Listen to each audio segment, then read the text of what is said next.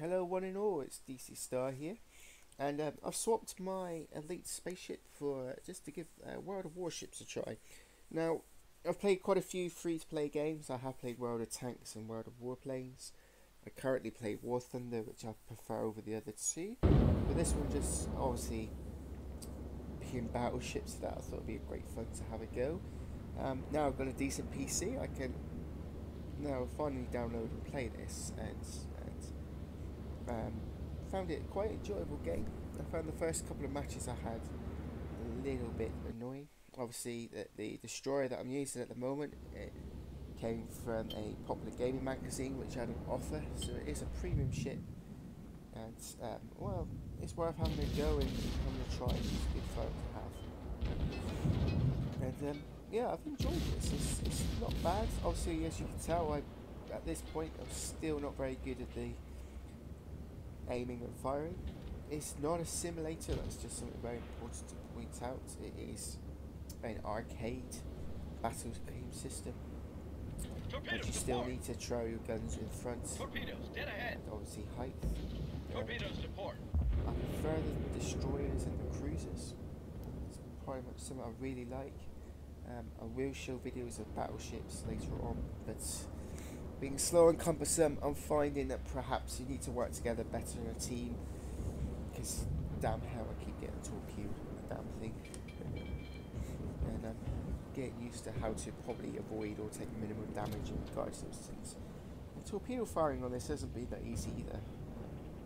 Which I've, I've finally worked out how to do it. And obviously not bearing in mind range. in this case I was out of range, but it was worth a go and well, just let you enjoy some of the footage of it.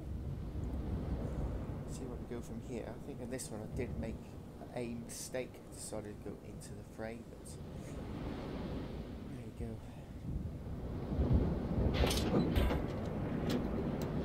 hit land, so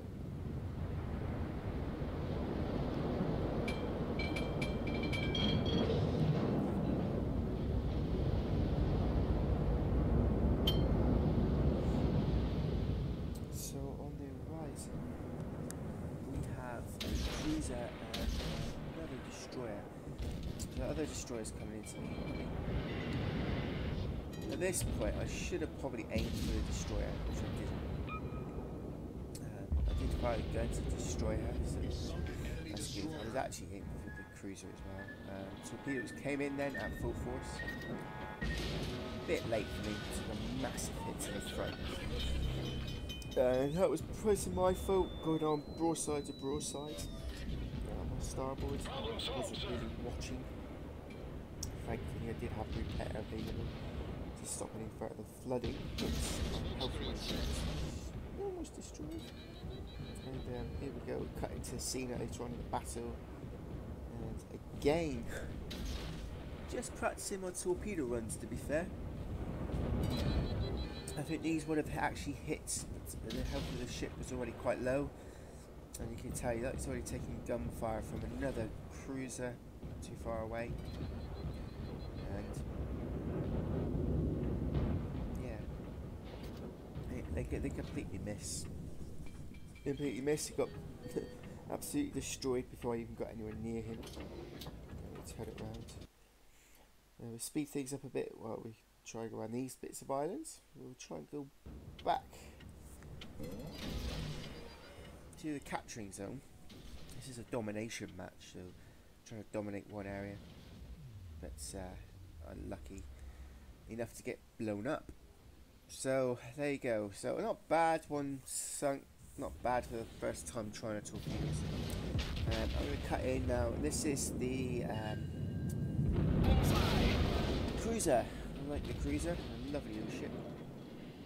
Uh, this is an American cruiser. Uh, looking at the tech trees of this game, emphasis put on the American and Japanese ships at the moment, which are the two tiers I'm actually currently working on. I've not tried the Russian and the Germans once I've managed to get to a tier 3 cruiser. I have found get to tier 3 ships really quick, um, but after that it is a bit more of a slower grind from the tier 4 upwards. My aim is a tier 5.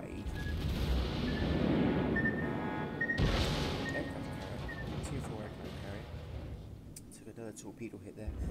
So we got on the battle, so that's usually not too bad. Yeah, goes, he's gone. And this one did have battleships in, and uh, to show the whole video, but um, I will bring more of you, more videos of that later on. But um, we'll see how it goes. I'll post some more videos of battles later on, and um, keep watching and please subscribe to my channel. Thank you.